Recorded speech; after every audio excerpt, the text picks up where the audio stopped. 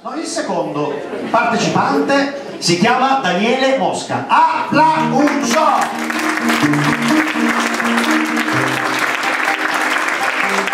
Caro Daniele, Daniele caro, quanto tempo? Raccontaci di te, chi sei, cosa fai, perché? Sono un ingegnere per, per, il territorio, lavoro per il comune di Settimo e sono appassionato di lettura e di scrittura e di musica anche. Quando e quanto tempo fa hai scritto questo soggetto che ci proponi? Su questo soggetto ci sto lavorando ormai da, un po', da almeno un paio d'anni e quindi è già un bel progetto quasi alla conclusione. Che genere è? È un thriller storico, un thriller storico. Thriller storico. Basta dire Romeo Giovannino parte con il gladiatore che non c'entra niente. Grazie Giovannino, strappiamo il contratto per favore. Va bene, no, no, ma tienila, tienila, tienila pure. Va bene, ci piace, ci piace. Per te 30 secondi e al mio finale scatenate l'inferno. Vai.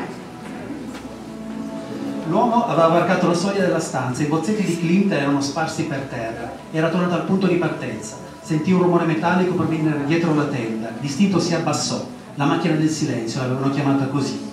Il primo proiettile lo colpì al braccio, fece in tempo a raccogliere il tempo il, un bozzetto da terra per nas- il bozzetto nascondeva l'immagine in bassa frequenza del fregio di Beethoven. Ancora un rumore metallico, aveva a disposizione soltanto pochi secondi per uscire. Corse giù dalle scale, cercando di non guardarsi alle spalle, ma sentì i rumori degli scarponi. Il sangue continuava a sgorgare dal braccio. Al sangue che sgorga, votazione! Su, su, su, su, su! Ma eh, c'è qualche rosso, però comunque maggioranza gialla, vai! Stava per perdere i sensi. Il codice era sempre stato davanti ai suoi occhi, se solo se ne fosse reso conto prima. Ma ormai era tardi. Strinse il bozzetto di quasi a strittorarlo, aprì il portone ma sentì il vento schiaffeggiargli il viso. Percepì una spina conficcarsi alla schiena, un, lieve, un dolore lieve che si fece lancinante. L'unica possibilità di fermare la macchina del silenzio stava per essere distrutta per sempre.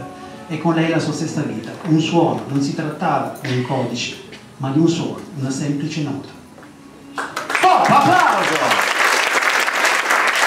È chiaro che qualcuno insomma, è più avvezzo a parlare al microfono, questo non deve essere tanto insomma, eh, giudicante da parte vostra. Detto questo, la votazione degli, degli, editori e degli addetti al settore su un 7, 7, 7, 7, 7, 7!